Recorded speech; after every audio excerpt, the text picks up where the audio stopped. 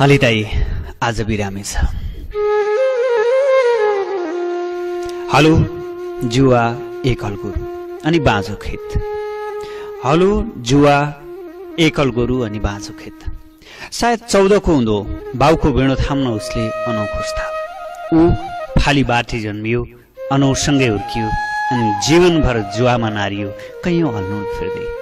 रहर लाग्दो जवानीमा पनि उसलाई कहिल्यै भुइँसाएन किनकि काठको हलोसँग भुइँ साट्न मिल्दो रहेनछ कहिले काहीँ गोरु एकअर्कोमा चढ्दा सुम्ला बस्ने गरी लौरो लाउँथ्यो र हुन्थ्यो भैँस आएर डाम्नु अनमत्त भएको छ। तर आफू कहिले छिचरो भएन। मुन्टो बटारेर बहर गोरुले मेलो काट्दा आलु चरप्प अठाएर तल आउँथ्यो।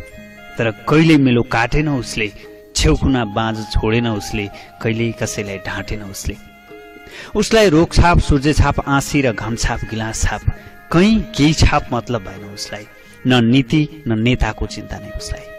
उसलाई केवल टन्ठो सोइलो डाँडो जोतारो अनि फालीको मात्रै बिष्ट मेलो छेउकुना अनि हालीको मात्रै।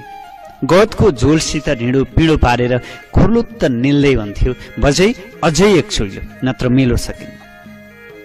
उसले संसार जिते जस्तै मान्थ्यो मेलो चाँडै सक्दा यसरी बाँझा गराहरू बाँझा फाँटहरू बाँझा घरबारीहरू हराभरा बनाउँथ्यो र सबैले भन्थे उसको पाइलो मलिलो छ साकिलो छ।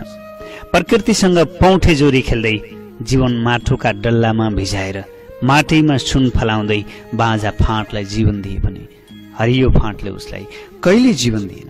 हो माटैमा सुन फलाउँदै बाजा फाँटलाई जीवन दिए भने हरियो फाँटले उसलाई कहिल्यै जीवन दिएन? उसको जीवनमा सधैँ राँटा परिरहे निधारमा गाँठा परिरहे। उसले कैयन हलगोरु फेर्यो डाँडा फेर्यो पार्टी फेर्यो सोइला फेर्यो फाली फेर्यो तर कहिले आफ्नो पाली फेरेन।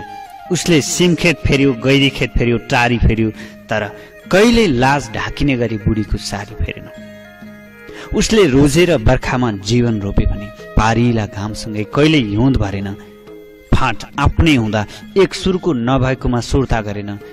मुरे फलाएर मानो भरेन उत्लाउने छानो पारेन त्यसैले त्यसैले उहिले ऊ इमानी थियो अहिले ऊ बेइमानी भएको छ अहिले ऊ ठुटु जस्तै भएको छ पाखुरा दर आउँदा ऊ सबैको थियो। अहिले तिग्रामा बल छैन र वरिपरि कसैको खलबल छैन।